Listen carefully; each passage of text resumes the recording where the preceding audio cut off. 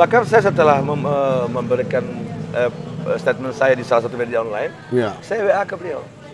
Kanda, izin saya mohon maaf apabila ada kalimatan saya eh, kalimat saya di media yang mungkin menyinggung Anda, saya mohon maaf.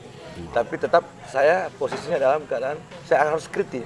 Kritik. Kalau Kakanda masih berjalan di dating, dalam rel menjalankan roda pemerintahan, saya siap mendukung. Tapi ketika itu melenceng, tetap saya akan kritik. Dan beliau menjawab, betul, oke Dinda. Itu itu itu bagus itu. Dikritik saya apabila salah. Nah, saya tetap akan mengkritik beliau kalau beliau salah, tapi kalau beliau benar, saya harus dukung beliau. Ya Luar kan? biasa. Jadi kalau melihat penjabat gubernur ini adalah negarawan ya, Ya, yang selalu ya menerima Menerima. kritikan dan ya. memang eh, sikap Ya. seorang pemimpin ya harus begitu. Jadi- harus menerima kritikan dari masyarakat, berbagai elemen lah harus. Siap. Tapi jangan masuk ke dalam ranah-ranah politik. Ingat beliau itu bukan seorang politisi. Ya. Beliau orang birokrasi. Birokrasi. Murni. Jago, abang jago. Sorry bang jago, ampun bang jago. Assalamualaikum warahmatullahi wabarakatuh. Jumpa lagi bersama Bang Jago. Bangun fakta, jangan gosip. Edisi Rabu 28 Desember 2022 ya. Bang Jago saat ini berada di Warkop Aceh. Ini warkop ternama di Kota Gorontalo. Jadi Bang Jago pingin ya diskusi santai bersama tokoh pemuda yang ada di Provinsi Gorontalo. Ini di samping Bang Jago ya Bang Iksan Nawai. Jadi Bang Jago pingin menyapa. Assalamualaikum Bang Iksan. Waalaikumsalam warahmatullahi wabarakatuh. Iya. Apa kabar Bang Jago? Iya sehat. Sehat. Bang Sehat, Isan. Alhamdulillah sehat. Iya, jadi kan Bang Jago juga ya pengen ya tanya juga ini terkait ya kondisi Bang Ihsan saat ini kan. Dulu pernah Bang Jago lihat ya pernah ikuti juga. Ini salah satu toko pemuda ya. Ini KNPI. Iya. Itu dulu jabatannya seperti apa Bang Ihsan? Waktu sama zaman menjabat wakil ketua. Wakil Nah, wakil ketua. ketua ya. 2008 waktu saya masih pengurus di KNPI Kota. Iya. KNPI 2008 ketua saya waktu itu uh, saudara Adam Dubi. Iya. Kemudian setelah dari kota saya naik ke KNPI provinsi Iya. bersama-sama Bang Arifin Jakarta. Arif Pinjakan. Iya, betul. Mau bertarung di Pilkada Ya, Kabupaten, Gorontalo. Ya, betul sekali. Ini kan Bang Jago kan sudah kenal ini Bang Ihsan ini tokoh pemuda ya, tokoh masyarakat yang selalu juga nampak di warkop amal. Ya. Habis juga warkop eh, Ano ya, Ya, ya. yang ada di kawasan Pertokohan Murni. Iya. betul. Ini Bang Jago selalu pantau dalam grup. Ini Bang Ihsan terlihat dalam statement itu terlalu keras. Oh ya. Ini kayak melihat menghantam ya. Ah. Ini menghantam. Menghantam. Ya kayak Bukan rudal mengkritik, ini bukan ya mengkritik. menghantam, Oh, mengkritik, bisa juga Oke. dilihat Bang Ihsan ini mengkritik terkait persoalan mutasi. Iya. Itu seperti apa gitu? Uh, jadi begini. Ini kan Bang Jago ya sekarang mau kor- konfirmasi Sebelum saya jelaskan lebih soal dalam ya. uh, pemberitaan saya di media, salah satu media online itu mengenai mutasi jabatan eselon 2. Iya. Saya sedikit jelaskan dulu hubungan saya dengan Bang Hamka. Iya. Atau yang kita sebut sekarang Bapak Penjago. Penjagum. Iya. Iya. Sedikit saya jelaskan hubungan saya dengan Bapak Penjago itu, beliau itu senior saya. Siap. Waktu itu era 2008 kita ada kegiatan di Hotel Yulia. Yulia. Hotel Yulia itu kita bikin kegiatan Rebu Pemuda. Iya. Beliau waktu itu menjabat di DPP KNP sebagai wakil ketua OKK, wakil ketua satu OKK bidang OKK. OKK. Jadi beliau yang hadir waktu itu. Siap. Nah, waktu kegiatan itu beliau memberikan materi, kemudian setelah kegiatan saya ngantar beliau pulang kembali ke Manado pakai kalau tidak salah waktu kita pakai mobil rental.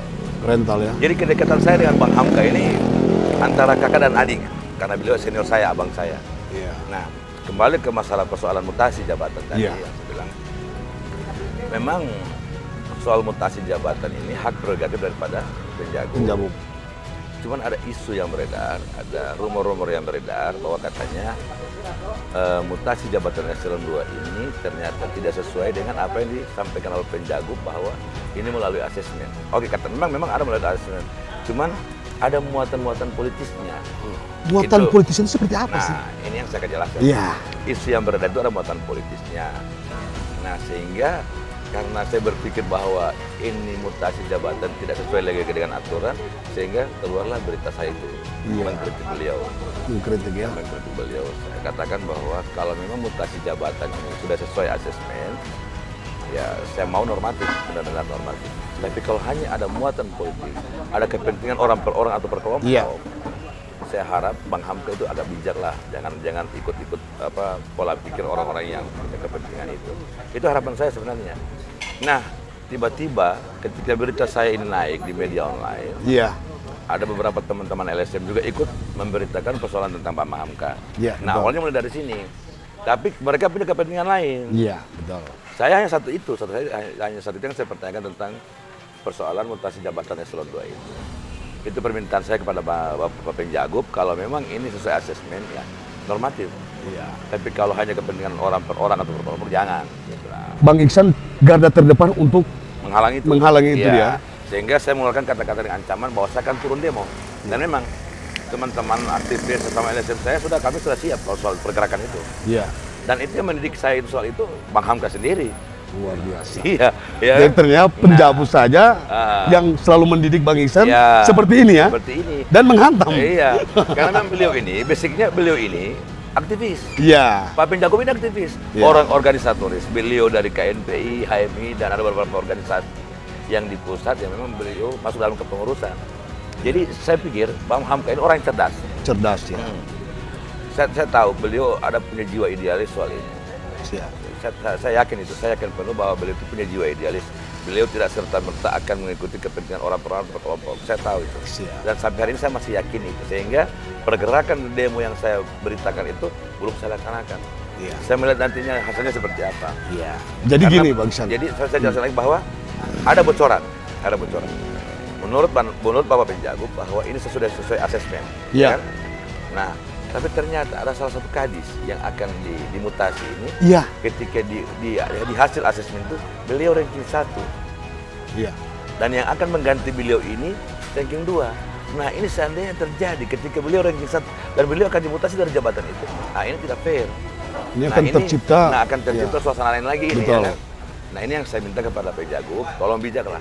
Artinya dan saya yakin Pak Penjagup tidak perlu kita ajari soal itu. Beliau orang Semoga dalam podcast Bang Jago juga ini Pak Pak Ya. Penjago juga bisa dengar ya. Insya Allah, insya Allah. Iya. Jadi gini Bang Iksan, Ya. ini juga Bang Jago. Ini sebelum ini Bang Jago mau Ya silakan, Iya. silakan. Ngopi dulu, ngopi ini dulu. ngopi ya. Ini ngopi di Warkop Aceh. Ini menjadi khas Bang Jago.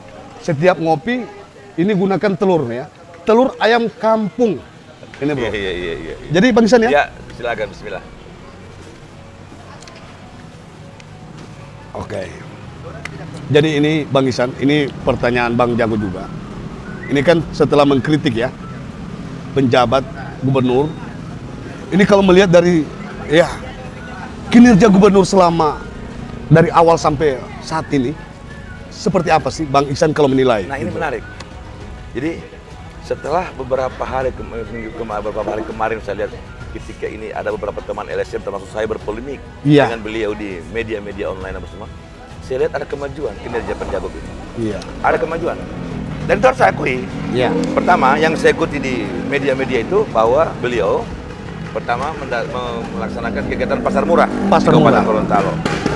Nah ini beliau mulai mendekatkan diri, mendekatkan diri kepada masyarakat. Dan ini yang saya mau. Iya. Kedua, beliau mengumpulkan kepala-kepala desa, bapak-bapak camat-camat akan mem- membackup kegiatan-kegiatan di desa dan di kecamatan-kecamatan.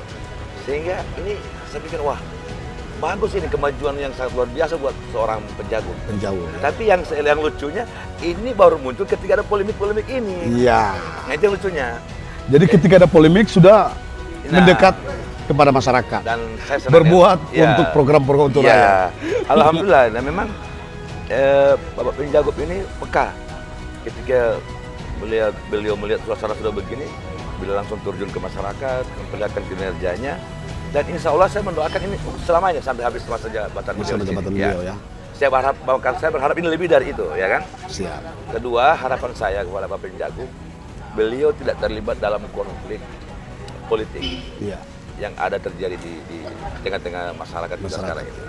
Pak ini sudah jadi rahasia umum bahwa memang di daerah kita ini ada konflik politik petinggi-petinggi Iya. para politisi yang saya harap Bapak Penjagup tidak masuk ke dalam itu. Iya, siap. Saya mau beliau tetap netral, keluar dari situ, dari ranah itu. Jangan terlibat dengan atau masuk ke ranah itu karena ini sangat merugikan daerah dan rakyat. Masyarakat juga ya. Masyarakat, kena yang ada di. Provinsi Ya, itu Gorontalo. yang masyarakat yang kena dampaknya. Iya, ya, saya- siap. insya Allah ya semoga Pak Penjagup, beliau saya yakin beliau paham itu, Paham ya. paham. Jadi terkait juga ini Bang Ihsan. Ini Ya. kan Bang Jago selalu pantau juga. Ini persoalan sebelum ada kritikan dari Bang Ihsan juga. Ini persoalan kemarin katanya sih penja- penjagut ini selalu keluar daerah, tidak menetap. Ya. Ya, itu kalau Bang Jago pantau juga. Ini ketika Bang Jago melihat ya, itu ternyata kesibukan Pak Gubernur ya, Bang Hamka itu ya Luar biasa. padat ya luar biasa karena demi kepentingan daerah Ya. tapi masyarakat salah menilai gitu. Eh, tapi kalau menurut bang Isan gimana bang Isan? Apa memang harus memang menetap? Ada tupoksi beliau urus pemerintahan? Ada eh, sekda gitu. Nah, Tapi begini, gimana kalau saya dilihat? Pernah, saya pernah mendengar ada himbauan beliau, ya bahkan ada himbauan dari penjagung kalau ada kegiatan-kegiatan di, daerah di, di pemerintahan, Iya. jangan bikin di luar daerah, iya. Bikin di sini bikin di karena Gorontalo ya kalau kita Untuk kaitkan, PAD. ah, kalau kita kaitkan dengan perjalanan-perjalanan beliau, sedangkan beliau saja menghimbau agar jangan ada kegiatan-kegiatan luar. luar. lebih banyak bikin kegiatan di dalam. Tapi kalau beliau memperbanyak eh, perjalanan ke luar daerah, saya kira itu positif. positif Ya kita berpikir kita berpikir positif lah. Mungkin beliau ada misalnya ada kegiatan luar daerah dalam rangka undangan dari kementerian Siap. atau melobi anggaran Ya. misalnya kan. untuk Jadi, ya, Gorontalo kita- ya, juga Gorontalo. Jadi saya berpikir ya marilah kita masyarakat kita berpikir positif lah ke beliau. Ya. Jangan jangan kita mengam- be- berasumsi yang tidak-tidak karena ini yang menimbulkan polemik. siap Dan ini yang menciptakan polemik ini bukan siapa-siapa. Mereka petinggi-petinggi ini. siap oke Isu-isu ini dari mereka isu ini sampai jatuh ke rakyat, akhirnya rakyat yang berpolemik di bawah. luar biasa. Jadi bro, seperti ini klarifikasi Bang Iksan ya. Yang kemarin panas ya. Panas. Eh, memberikan eh, statement saya di salah satu media online, Ya. saya WA ke beliau. Kanda, izin saya mohon maaf apabila ada perkalimatan saya eh, kalimat saya di media yang Iya. mungkin menyinggung saya mohon maaf. Tapi tetap saya posisinya dalam keadaan saya harus kritik. Kritik. Kalau Kakanda masih berjalan di dating- dalam rel menjalankan roda pemerintahan, saya siap mendukung. Tapi ketika itu melenceng, tetap saya akan kritik. Dan beliau menjawab, betul, oke Dinda. Itu itu, itu bagus itu. Dikritik saya apabila salah. Nah, saya tetap akan mengkritik beliau kalau beliau salah. Tapi kalau beliau benar, saya harus dukung beliau. Ya luar kan? biasa. Jadi kalau melihat penjabat gubernur ini adalah negarawan ya, Ya, yang selalu ya menerima Menerima. kritikan itu. Dan ya. eh, sikap Ya. seorang pemimpin ya harus begitu. Jadi- harus menerima kritikan dari masyarakat, berbagai elemen lah harus begitu. Siap. Tapi jangan masuk ke dalam ranah-ranah politik. Ingat beliau itu bukan seorang politisi. Iya. Beliau orang birokrasi. Birokrasi. Murni. Yang kemarin di uh, kementerian juga kan, Iya, Uh, Menpora ya, Menpora. Menpora. Sebagai deputi ya, Iya, deputi deputi. di kementerian uh, Menpora juga. Jadi ada nggak harapan untuk pemerintah? Ya harapan saya Terkait. ke depan kepada penjago karena ini program yang beliau ini beliau yang telah bahas 2020-2023 bahkan beliau sendiri akan menjalankannya ini Siap. kan. Nah kita akan mengawal ini. Saya mengawal Kita ya. akan mengawal ini, kita bantu beliau dalam melaksanakan program pembangunan. Kita akan bantu beliau, kita kawal beliau. Apa-apa saja ini yang yang akan dilaksanakan pembangunan di, di provinsi Gorontalo ini. Dan saya mohon, saya harap kepada penjago eh, adil lah, ya. misalnya kota Gorontalo, misalnya ini sekian, kabupaten Gorontalo sekian sekian. Jadi saya, saya berharap itu merata, merata. Merata ya. Siap. Jadi ini yang kita lihat di 2023 karena ini programnya Bang Hamka. Dan saya yakin beliau sukses nanti itu. Saya yakin. Siap. Jadi semoga dalam podcast Bang Jago juga ini podcast bersama Bang Iksan ya, tokoh pemuda yang ada di Provinsi Gorontalo. Semoga juga ke depan Provinsi Gorontalo di bawah kepemimpinan Bang Hamka bisa lebih maju ya Maju lagi, insya Allah. dan berkembang. Jadi selesai ngopi, jadi makasih nih Bang Iksan Sama-sama. sudah saling menyapa bersama Bang Jago karena sudah Bang Jago ini kangen sama Bang Iksan ya. Allah.